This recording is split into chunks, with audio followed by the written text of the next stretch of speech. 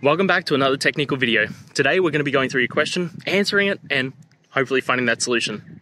Guys, remember to stay just a little bit crazy like me, and hopefully you get to that resolution. Now, let's continue on.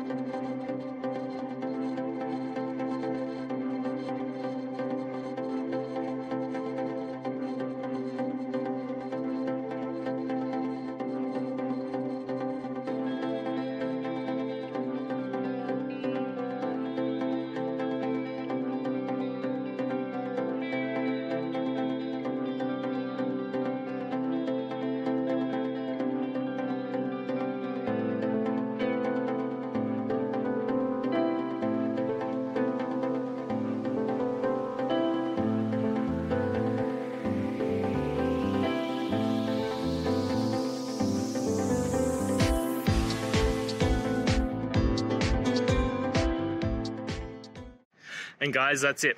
I hope this video has helped you and get you through to that resolution you needed. If it did, please, I'd appreciate it if you hit subscribe. Now, until the next time that you need technical help, I hope you have a good one. Cheers.